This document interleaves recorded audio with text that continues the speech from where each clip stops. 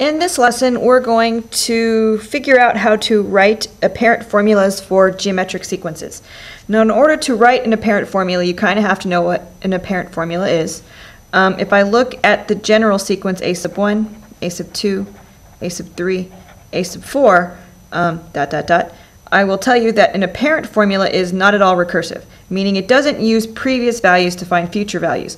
All it's going to use are these little subscript numbers, the 1, the 2, the 3, and the 4, or the term's location in the sequence. So if I want to find the fifth term in a sequence, all I'm going to do with the apparent formula is plug in a 5 and it'll give me that value. So let me give you an example. So let's look at the apparent formula a sub n equals 5 to the nth power. Notice that I don't see any previous values. There's no a sub anything on this half of the, of the rule. Um, here's how this rule generates a sequence. I'm going to take a sub 1. Um, to find a sub 1, I'm going to plug in a 1 into the n.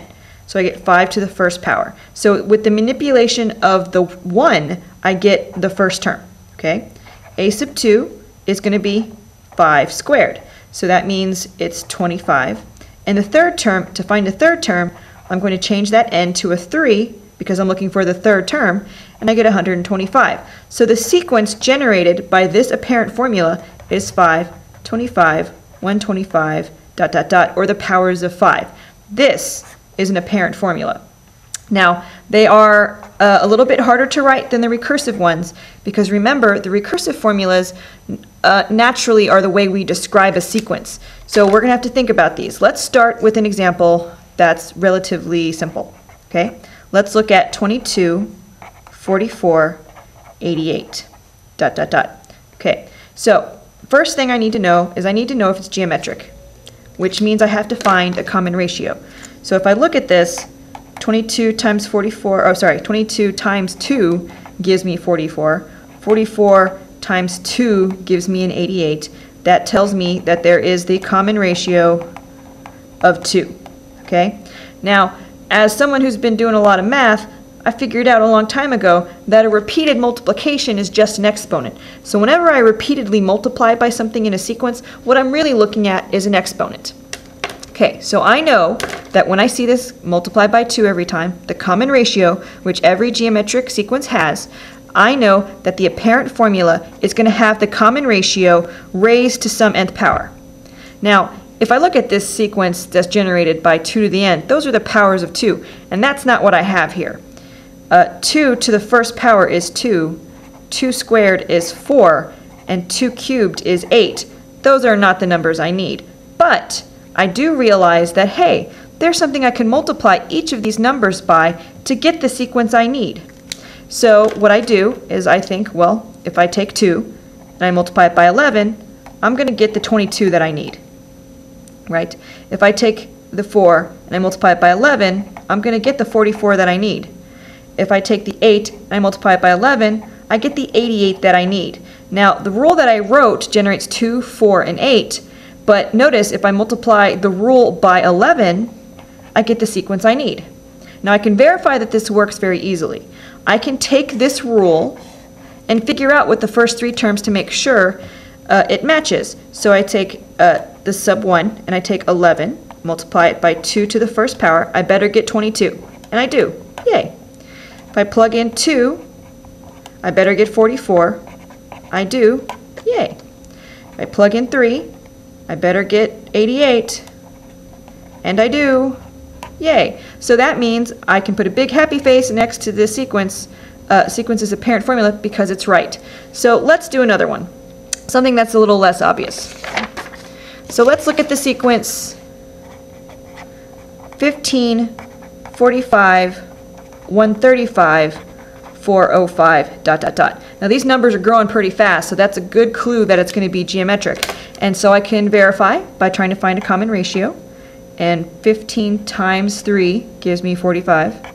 45 times 3 gives me 135. 135 times 3 gives me 405.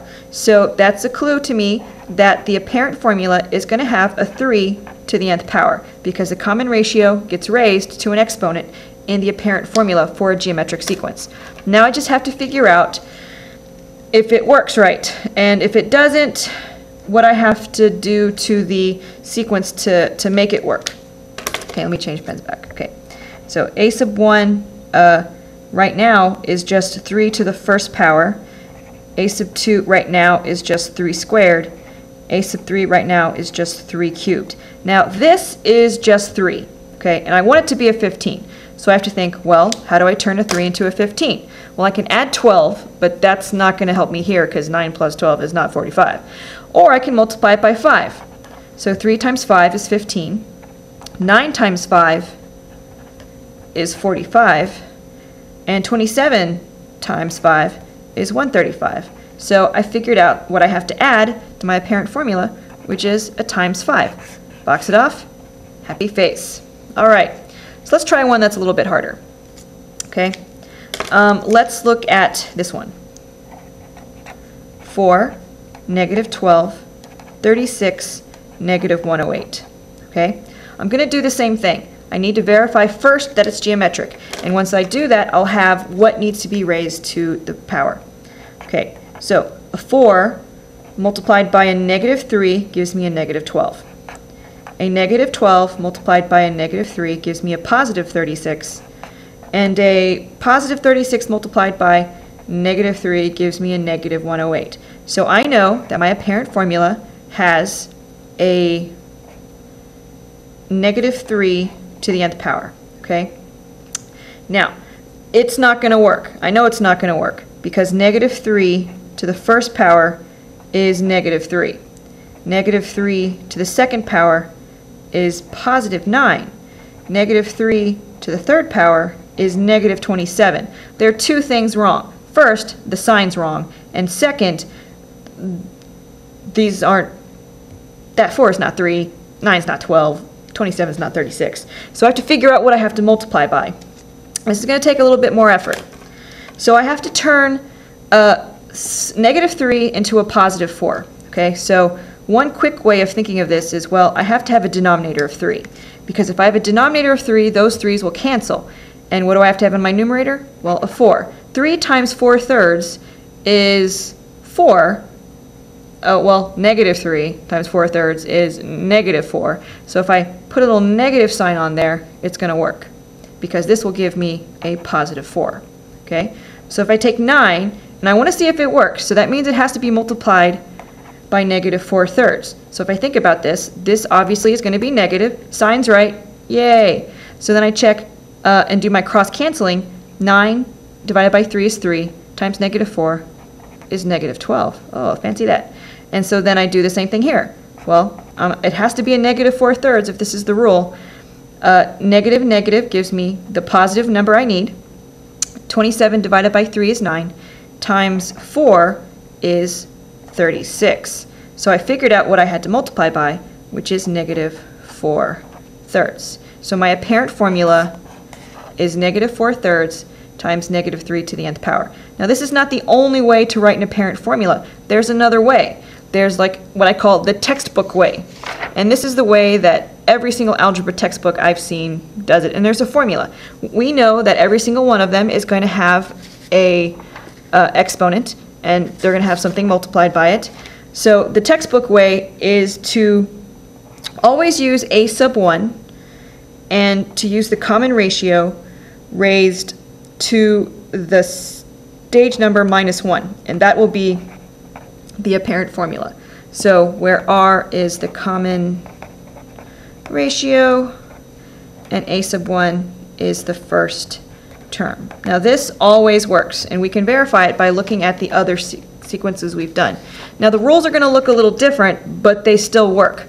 There's always more than one answer, and uh, you're about to see that. So if I take 22, 44, 88, the very first one we did, and I use this formula for it, uh, a sub 1 is 22, and r is 2. So here's what the formula is according to this rule here. It's 22 times 2 to the n minus 1 power, okay? And you're like, oh, that looks totally different. Well, but it totally works because the exponent is different. It's an n minus 1, not an n. So if I try for a sub 1, I get 22 times 2 to the 1 minus 1, which is 22 times 2 to the 0 power, which we all know is just 22, okay? And if I look at a sub 2, is 22 times 2 to the 2 minus 1 power, which is 22 times 2, or 44. If I look at the third one, it's going to be 22 times 2 to the 3 minus 1, which is 22 times 4, or 88. So this sequence apparent formula um, can also be 22 times 2 to the n minus 1 power. Now this is the textbook way, this is not the, the I can figure it out by using logic way. Um, so you can either use this formula here, or you can use the way I showed you before.